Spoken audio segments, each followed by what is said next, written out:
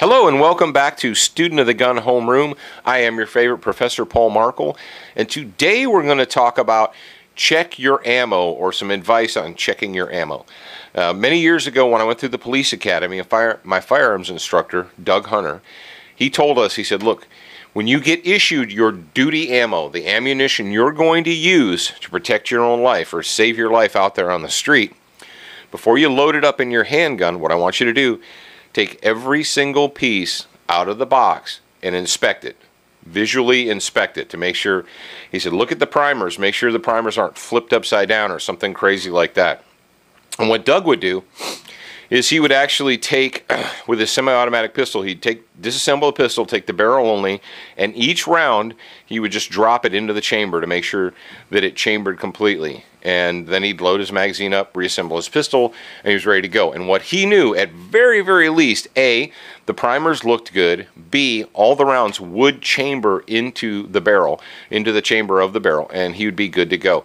Now, you can't x ray them and look inside to make sure they're powder, but, you know, from an end user standpoint, that's about as good as you can do.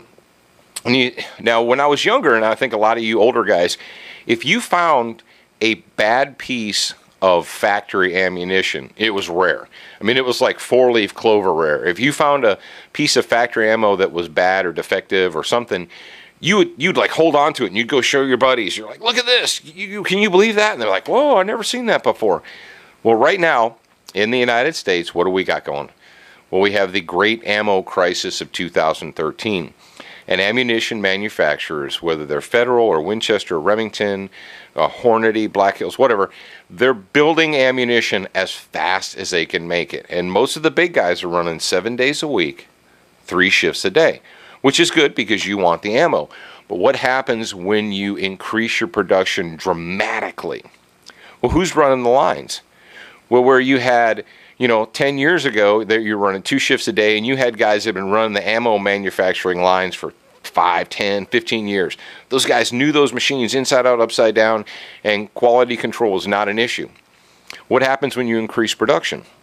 When you increase production, you know, 100%, 200%, 300%, you have to hire brand new people.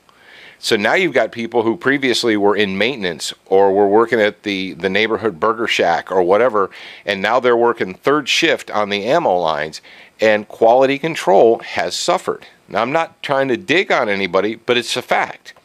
Uh, when, I just experienced it here recently, in the last month, I've had two separate loads in two separate shooting occasions, different boxes of ammo, different lots of ammo that had problems. Now this one right here, and I'll do a close-up for you guys. This piece of ammunition, uh, it was damaged during manufacturing. A hole was punched into the case, and there's no powder, there's no propellant in this gun or this uh, cartridge right here. Now it appears that it has a, a live primer or a good primer, and I might have been able to chamber this in the pistol and shoot it. And what happens when you launch a 230 grain bullet with only the primer? Well, it'll go about two inches and it'll stick in your barrel, and now you're having a really bad day. Which is fine on the practice range, it just annoys you. If it's the real world, you better figure out another way to stop that bad guy quick, fast, in a hurry because your gun now just became a paperweight. Uh, I did notice that as I was loading the magazines, I pull it out and I'm like, whoa, that ain't right. This next piece of ammunition, 45 ACP, 230 grain ball, and I'll show you another close-up.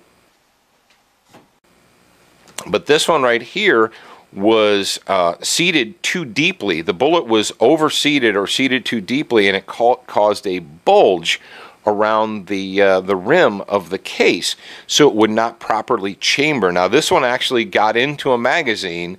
It was like number two or three down in the stack, and when it was its turn, it went into the chamber and it wouldn't allow the action to close. Popped it out, picked it up, and I looked at it. I'm like, huh, son of a gun. Now this is factory fresh, brand new ammunition. This isn't Joe Bob's reloads from you know the gun show.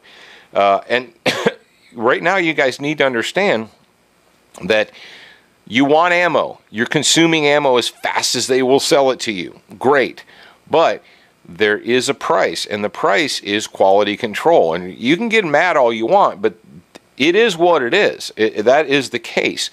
And uh, You say, well, maybe that's just that one manufacturer, that one, you know, brand of ammo. Well, for uh, three years, I worked as a full time small arms and tactics instructor for the military, and we consumed copious amounts of ammunition 5.56, 9 millimeter.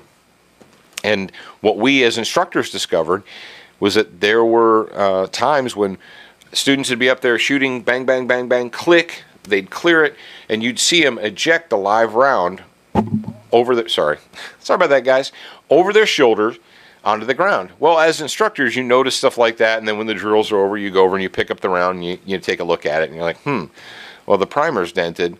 You throw it in your pocket and drive on. And normally, what you think is, oh, well, if the, it had a light primer strike, it'll probably go bang the second time. So what do you do? You just throw it in your pocket and you use it as training ammo or practice ammo or what have you. Well, what we found is some of these rounds weren't going off regardless. Uh, they wouldn't go bang. You could take a sledgehammer and beat on them, and they weren't going off. I've got a, a round that actually has looks like the Grand Canyon dimple in the freaking primer. It ain't going off. It's not gonna. And this is mil spec out of the can military ammunition. A lot of you guys out there probably think, "Whoa, dude, mil spec. That's like the best you can get."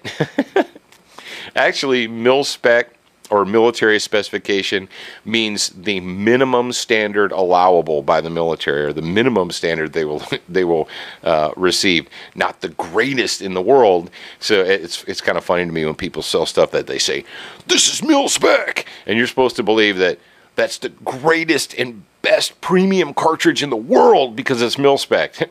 All that means is that it meets a minimum military standard but I digress.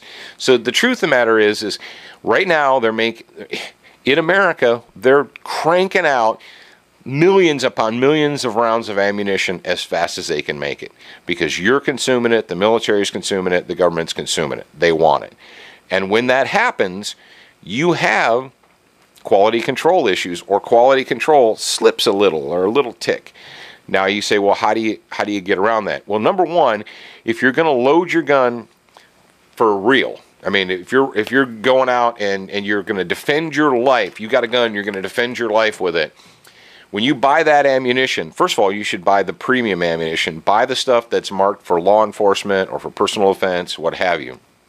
Because a higher degree of quality control goes into the premium stuff than the cheap stuff. Or and you say, "Oh, it's not cheap." Well, I know ammo's not cheap, but the practice ammo doesn't get as high a quality control or as many uh, steps as the premium stuff does. But when you get the premium stuff out, if you're going to load your gun up to save your life, what I would suggest doing is pulling each and every round out of that box and inspecting it and then loading it. And if you want to, you know, take your gun apart and drop each one into the chamber to make sure it chambers properly. You can do that as well. It'll take you five, ten minutes and it may actually save your life. So, something to think about. Now, recommended reading for today. I don't have a book for you. What I want you guys to do, uh, most of you guys are, are watching this.